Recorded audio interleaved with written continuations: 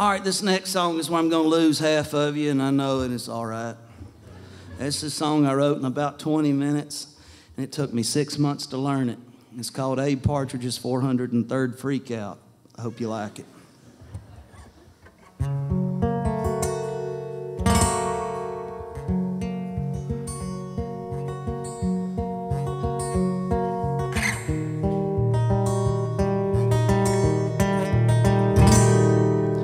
Well, sometimes I think we're already dead, or this trap that I call time is just some inception like dream state I'm in as I lay dying. I think maybe we never existed at all, or just some five sensed hallucination. Just the mirror image of a higher reality beyond our comprehension. And I lie awake at night, and I can't keep my mind from wondering about what it all means. That I have the ability to wonder what it all means. Do you know that nobody in this whole wide world can give you the definition of consciousness that doesn't venture off into religion or some kind of absurdist pseudoscience? And since I started listening to both sides without caring on to which side I fell, well, I found out that there were more than two sides if you really want to know a subject well, which only led me to more heartbreak as I thought about all the fights that have been started by two sides, and neither one of them were truly wrong or right.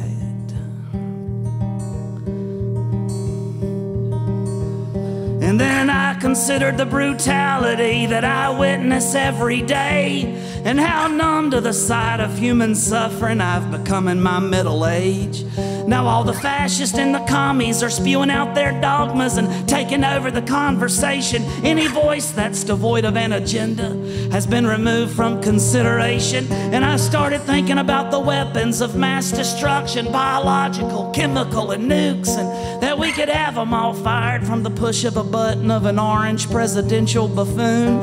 And so I started reading up on how to survive a nuclear apocalypse. And after my research, I concluded I didn't even want to survive to live in a world like that.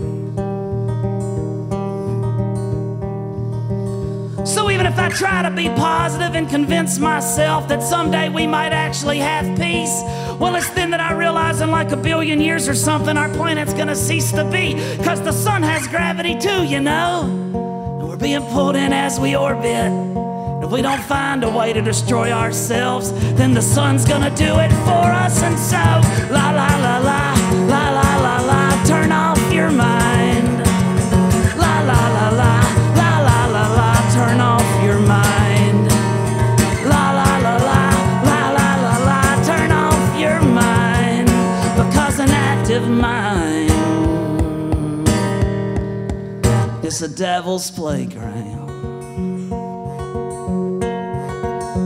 devil's playground. Well, then my mind turned to the scientists, explorers, and the greatest amongst us all who gave their lives to learning and research and made great discoveries about the world. Then it occurred to me that all truth exists long before some learned man makes it known. I mean, if you think about it, E don't equal MC squared just because Einstein said it was so. And now, considering this, science kind of seems like a waste. I'm going to devote myself to art.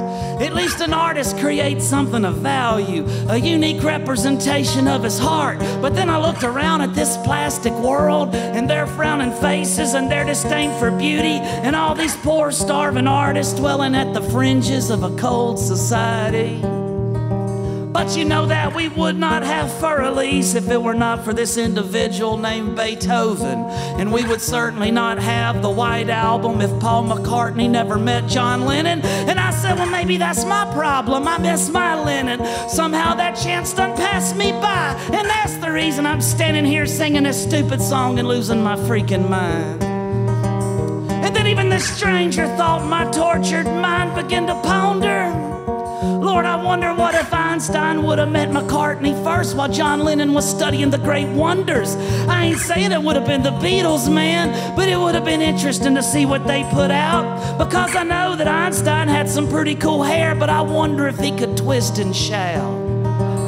And maybe if Einstein had been singing, oh, dee, oh, da, instead of drafting the letter to Roosevelt that paved the way for a nuclear bomb, then a little boy from Nagasaki could have married a pretty young girl from Hiroshima. They could have sang, oh, blah dee, blah da together and taught their children songs by the Beatles.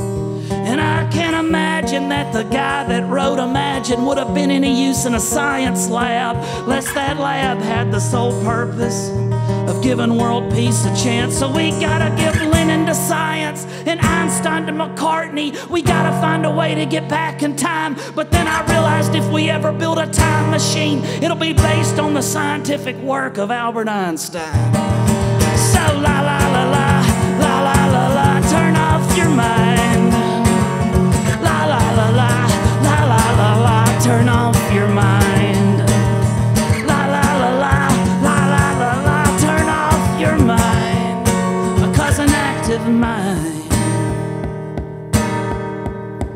is the devil's playground.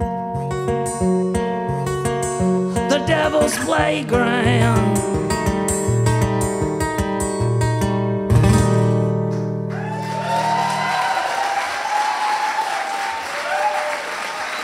Thank you.